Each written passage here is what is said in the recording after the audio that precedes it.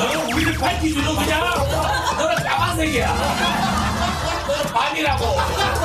그리고 김종박.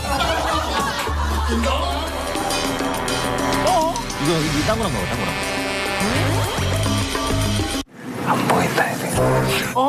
형, 이제 우리 뭐 찾으면 좀, 드- 형, 형이 드- 좀 드리겠습니다. 뭐라고? 뭐 찾으면.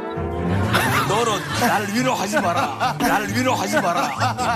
야, 너돈 필요 없구나. 짜증나니까 빨리 가라고. 형이, 형이 아무리 욕해도 못 가겠다, 이거. 형 진짜 너무 무서워, 형이. 난 신세경, 신세경 씨. 형 뭐라고 해? 형 갑자기. 갑자기요? 신세경 씨요? 아니, 걸그룹 얘기하다 왜 갑자기 아이돌. 걸걸 얘기하다가 팬이에요? 연기야, 뭐. 내가 볼 때는 네가 올해 뭐 미세먼지가 진짜 문제였잖아. 미세먼지를 네가 해결해도 신세경 씨가 안 돼. 한 번쯤은 올 수 있죠. 안녕하세요. 아, 안녕하십니까. 어. 어떻게 전화 한 통도 안 하노 니는? 얼굴 좋아졌다. 싫어요?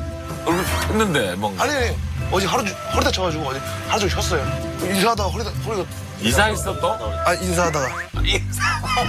어, 어. 인사하다 우리 다쳤다고? 얼마나 두기셨길래? 누구한테 인사하다가 이렇게 사람들한테, 어, 어. 빨리 얘기해봐. 왜? 여섯 번의 이야기 첫 번째 시작. 여섯 번, 처음이요? 어. 와,